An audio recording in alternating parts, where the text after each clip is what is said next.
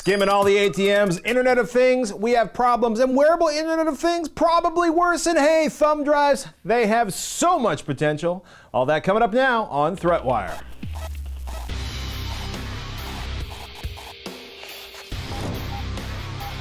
Greetings, I'm Patrick Norton, and this is ThreatWire for May 2nd, 2016, your summary of the threats to our security, privacy, and internet freedom. Thanks to everybody that supports us on patreon.com slash threatwire. You keep the show coming commercial-free every week.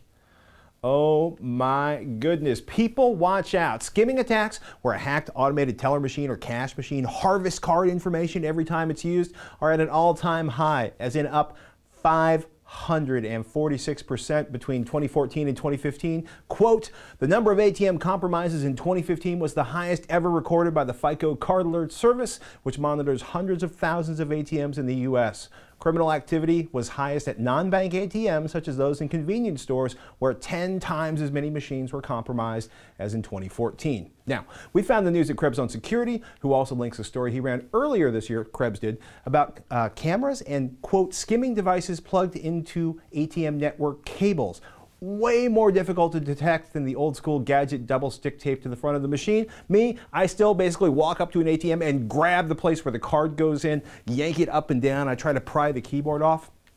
Krebs pretty much says to avoid the ATMs in 7-Eleven convenience stores.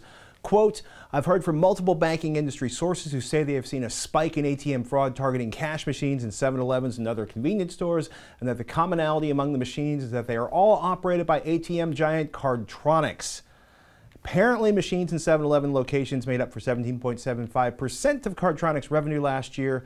So, what do you do? Well, hey, remember, cover your hand when you're entering your PIN number. The card data ain't so useful without a PIN number, and little tiny cameras aimed at the keyboard are hard to detect. So, put your hand over the keyboard to prevent people from figuring out what your PIN is. And seriously, you might want to stick to using only ATMs attached to banks.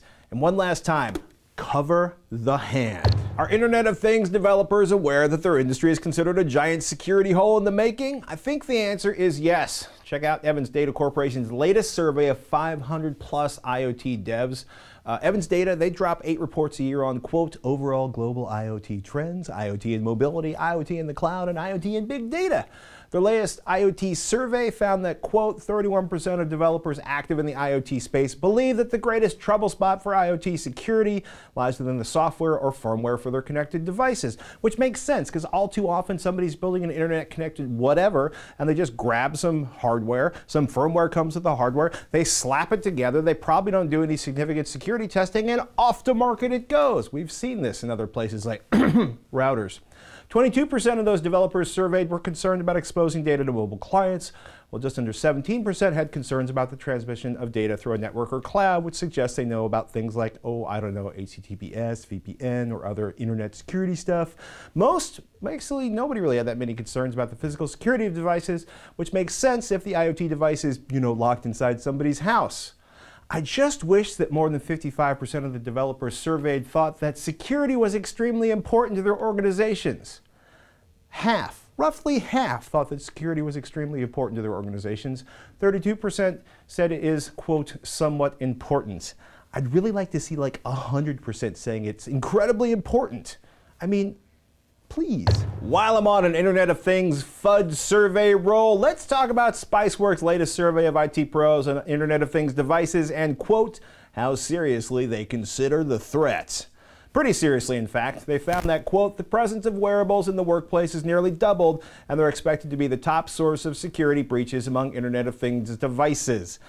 The top concern expressed by IT pros, 84%, was over the fact that IoT devices create more entry points into the network. Spiceworks noted that, quote, about three quarters of IT pros are also worried that Internet of Things manufacturers aren't implementing sufficient security measures. See story above. The survey included 440 IT pros in North America, Europe, the Middle East, and Africa. And seriously, IoT security is going to be a growth industry for a while. Take note if you're in college or looking for a new career path. Got a great link from the Sophos Naked Security blog. Almost half of dropped USB sticks will get plugged in, so says a study run by researchers at the University of Illinois, who sprinkled 297 drives around the campus and, quote, the first drive phoned home to the researchers in less than six minutes after it was placed. Yes! So yeah, one, don't plug in strange uh, USB drives. Two, encrypt your drives in case you lose them, because somebody might plug them in. And three, pen testers, you know what to do with this information. Couple more things before I go. ThreatPost scourge of Android overlay malware on the rise says to watch out for overlay malware. Basically, it sits on top of legit apps, making it easier to steal your login info for, say, um, your bank. Flashpoint Intel looks at the hacking for ISIS, the emergent cyber threat landscape. That big, dense, uh, well, report basically says pro ISIS hacking groups are growing. They're merging, but they aren't particularly skilled yet, in no small part because ISIS doesn't have an official hacktivist arm. So while pro ISIS attacks aren't sophisticated right now, they have the potential to seriously suck in the future. And uh, one last thing, tell your dentist not to use the flash drive the American Dental Association sent out, the one that says CDT 2015 dental procedural codes. It's got malware on it.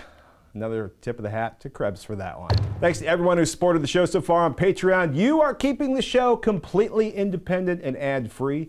If you can't donate, a like, a share, or a subscribe go a very long way too. But seriously, if you find value from ThreatWire and can spare a few cents an episode, please consider becoming a patron at patreon.com slash threatwire. We may even feature your adorable fur babies like these in the next episode. Feel free to send pictures of your favorite Ethernet port too. You can find all our episodes, links to our social networks, and other ways to contribute over at threatwire.net. And with that, I'm Patrick Norton. I'll see you on the internet, and I'll be avoiding the ATM at 7 Eleven. Cover, cover the hand, people. Cover the hand.